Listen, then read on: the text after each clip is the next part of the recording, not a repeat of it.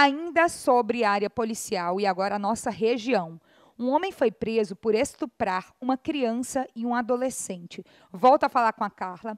Carla é aqui da nossa região, do município de Grajaú, onde inclusive muita gente de Grajaú nos acompanha, sempre mandam esses questionamentos para a gente e a gente tem essa história confirmada pela polícia, não é?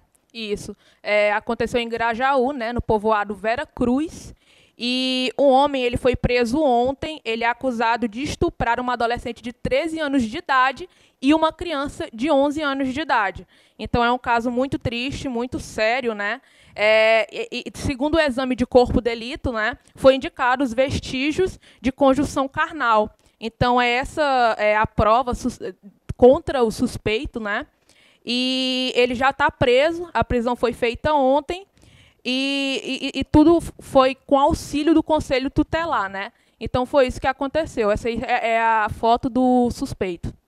Tá certo, essa é a foto do suspeito. Mais uma vez, a identidade não foi revelada, porque a polícia não pode fazer essa revelação, mas essa tem sido uma das notícias que mais estão repercutindo hoje, não é, Carla? Até pela gravidade também de envolver dois menores, envolver uma criança e um adolescente. Carla, e se a gente fosse contar só nos últimos dias, pode me colocar com a Carla aqui, produção? Se a gente fosse contar só nos últimos dias, quantos casos assim a gente recebeu confirmação da polícia no estado do Maranhão? Acho que, sinceramente, da semana passada para cá, foram quase 10 casos parecidos como esses.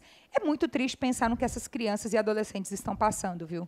É, demais, Mônica. E além disso, a gente ainda tem a informação que a vítima relatou que ela era, além de ser abusada, né, ela é, sofria ameaças com faca. Então, a, a, além do que ela estava sofrendo ali, ela também era ameaçada de morte, né, porque estava sendo ameaçada com faca. Então, é uma coisa muito, muito triste. As crianças e adolescentes está sendo muito recorrente e é muito triste ver isso triste e revoltante também. Parabéns mais uma vez à polícia que conseguiu dar um fim nessa violência e tomara que agora as vítimas, a criança, o adolescente, tenham estrutura também do poder público para se manter em tratamento, porque é um tratamento psicológico aí para o resto da vida, gente.